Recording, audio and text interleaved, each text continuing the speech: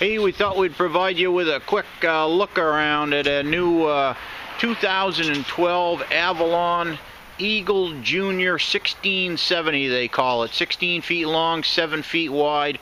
Great for places like Jimmy Pond, uh, Horseshoe, uh, Cobbossee Stream, Messalonskee Stream. Maybe not so good for some of the real big bodies of water, but any of the small lakes and ponds around uh, would really do well for you.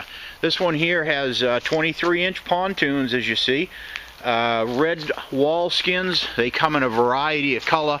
You can see the way that they build this boat, just like they do with all of their others. Really solid welds all the way around.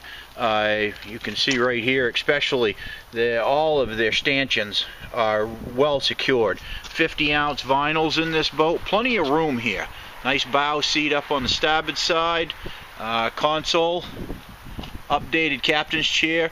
And if you look real close at the bottom, you can see it swivels and it slides back and forth for a boat of this caliber. That's really a nice feature in here. I'll give you a quick look inside the boat. Just look around get my shadow out of here. You can see even the front bench seat over here has plenty of room for a person or two. Uh, panning through the middle of the boat here. Got a nice wrap around with a little bit of a lounge seat right over here. A few seats here. Plenty of room in this boat. Yeah, they've really used the space quite well. Reasonably plain dash, but is made to uh, to adapt whatever you'd like. If you'd like a couple of gauges or a depth finder, can add a stereo to this uh, to this boat here.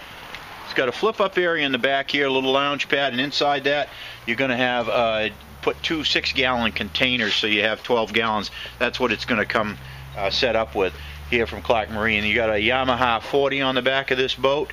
Uh, nice platform on the back. Nice looking boat. Uh, reasonably priced. It's a uh, 2012 Eagle Junior 1670, 16 feet 70 inches, uh, uh, 7 feet wide, 23 inch pontoons. Come on down, take a look at it.